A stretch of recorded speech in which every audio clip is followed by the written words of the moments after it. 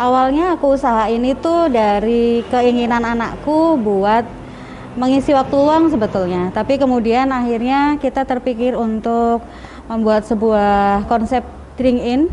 Awalnya kepengen membuat konsep drink in dan di sini juga nantinya akan ada beberapa uh, produk-produk uh, aslinya Jepara kayak tahu tuna dan uh, macam-macam yang isinya ikan.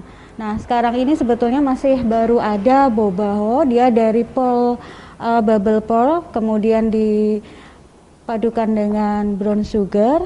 Brown sugarnya juga kita ambilnya dari Jepara loh. Kemudian uh, pakai teh, tehnya juga teh autentik dari Jawa. Jadi kita memang pakai uh, produk-produknya Indonesia. Awalnya usaha ini tuh kepengennya kita bikin laboratorium pembelajaran entrepreneur buat anak-anak. Awalnya seperti itu.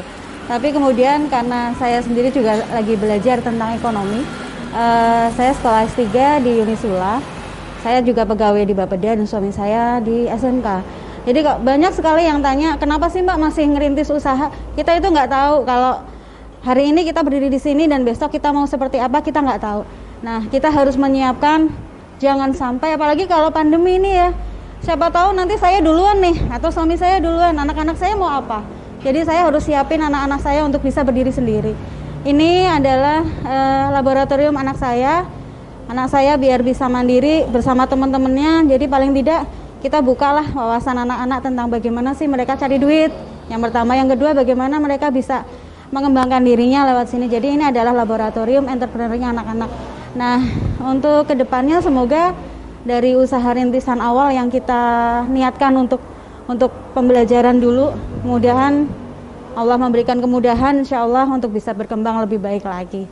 Kalau varian dari bobahonya sendiri kita sudah ada uh, eh, 15 varian, di antaranya ada yang regal, ada coklat premium, ada brown sugar, ada uh, teh yasmin tea, yasmin tea uh, brown sugar, kemudian ada black tea brown sugarnya, kemudian masih ada love berry, ada peach tea dan masih banyak lagi. Jadi kalau penasaran langsung aja deh ke kedai mas.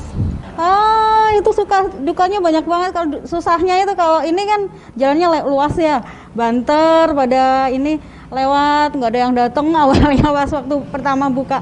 Tapi kemudian alhamdulillah lama kelamaan udah pada tahu adanya bobaho.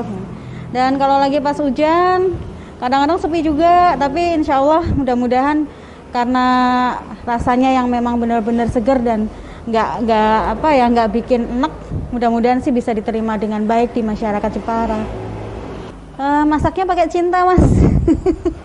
Jadi awalnya itu harus benar-benar sesuai takaran yang pertama. Yang kedua uh, karena kita menggunakan bahan-bahan yang benar kualitasnya, kemudian takarannya benar dan juga yang pasti adalah karena kita selalu berdoa dulu ya jadinya semuanya insya Allah enak lah jangan takut gagal karena kegagalan itu sebetulnya pintu kita untuk maju. Jadi kalau kita mau jualan ya jualan aja nggak usah banyak mikir.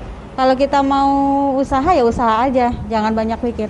Jalan aja ketika orang mau ju jualan pasti ada pembeli, ada penjual, ada pembeli, ada usaha pasti ada hasil gitu aja deh mas.